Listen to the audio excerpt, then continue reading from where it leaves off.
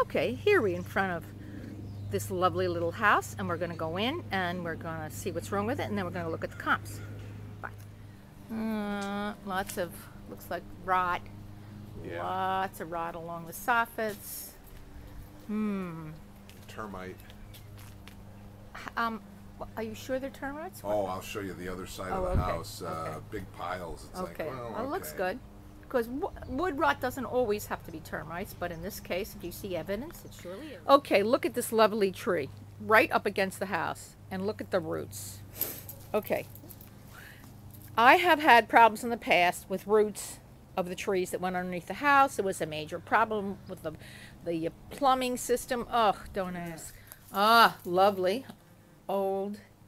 Well, not as old as it could be, at least the heating, because sometimes at least it's on the floor, so it's been upgraded since the wall. Uh, looks like there was a fire. Uh, there's a lot of soot damage. A lot of soot damage. This is one ugly door. Where does that got to go? And it also something's up with it.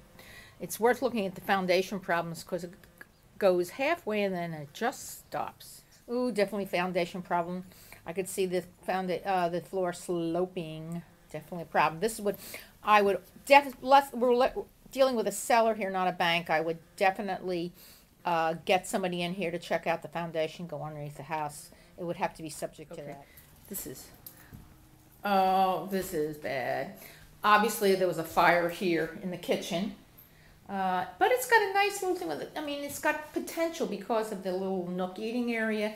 It's got A nice kitchen, space. yeah, nice space kitchen. Ooh, cute, cute, cute. Look at this. Obviously, the, the, it must have started here in the stove, and Yeah. the wall gets darker as you go up. And look at that nice little hole in the ceiling. This is a lot. Is this supposed to be a three shower. two? Yeah. The three two legal three two Uh, that's what it says. suggests. Well, okay. Uh, all right. This is lovely. Just lovely. Man, I can't imagine how anyone lived here. Cause you want to go in first and Sure. do the cobwebs. I don't. I don't do cobwebs. Sure. There's something right in front of you. Could you get rid of that guy there? Oops. Sure. I don't like cobwebs. Okay. Thank you, Jack. You're welcome. Okay.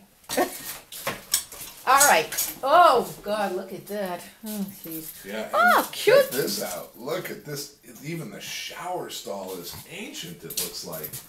So it couldn't be if it's ancient. Hmm. Oh, that's nice. I haven't seen a metal stall like this.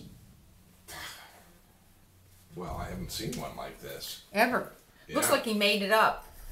Looks like he built it himself. Okay, it comes with an extra pair of shoes. You can never tell what you're going to get. And look at the ceiling here. The fu- this funny now? This looks darker than the others. Hmm. Okay, really a mess. Okay, here's this, the other bathroom. Whoa. Whoa. Hmm. Doesn't so this was a tub and never a shower. Uh, just a plain old tub. Wow. This is the house has potential, but man, this is a lot of work. Okay, these are original windows. A few of them have been changed, but mostly not. Lots of work. Now let's go look at this. Looks like termites. Termites love the bottom of posts. I always look for them at the bottom of any kind of post. They love to. I don't know why they just love to chew. Here's the garage. Hmm, that's got to be probably got to come down. This house is a very nice house. It's got a lot of potential. It's got a nice yard.